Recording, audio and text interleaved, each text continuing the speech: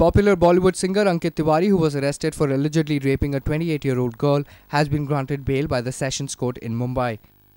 Tiwari has been granted bail on a cash bond of Rs 15,000.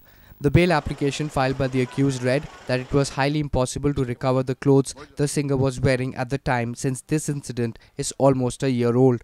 Also, since the case is dated back to 2013, a medical examination would not be of much help. Hence, the singer's lawyer pleaded that keeping the accused behind bars would serve no purpose. Powered by NNIS.